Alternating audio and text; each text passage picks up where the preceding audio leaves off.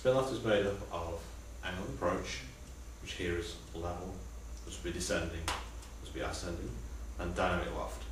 Dynamic loft will vary depending on the club you're using and the way that you apply the club to the ball through the impact area.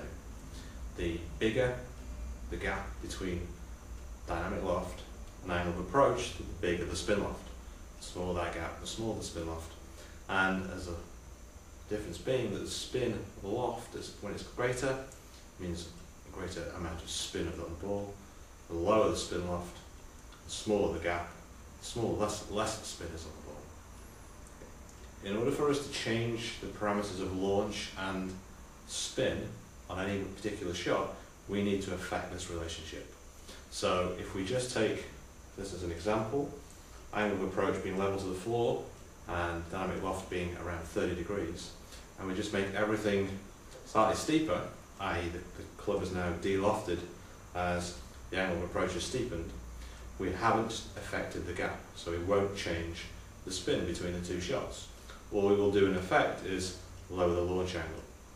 Similarly, as the, the launch angle is made more ascending and the spin loft didn't change, we would still have the same gap, so the same spin, we'd just be launching the ball that much higher.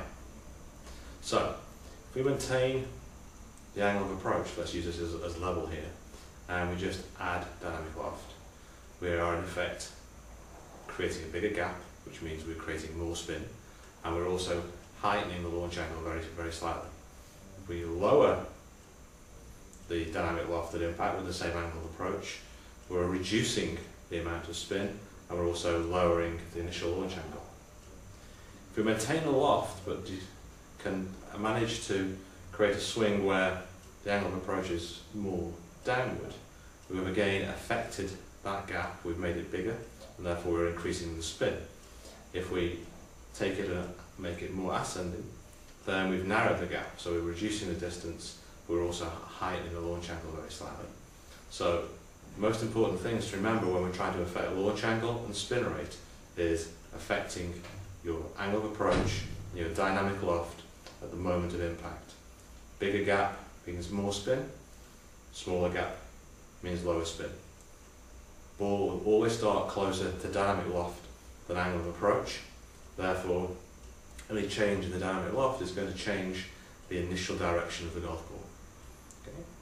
These rules apply pretty much for every loft up to around, around, around about 50 to 60 degrees where that, where at that particular point we start to lose compression on the ball and with the spin we'll actually start to move back towards less spin. But that's a, a, another story for another day.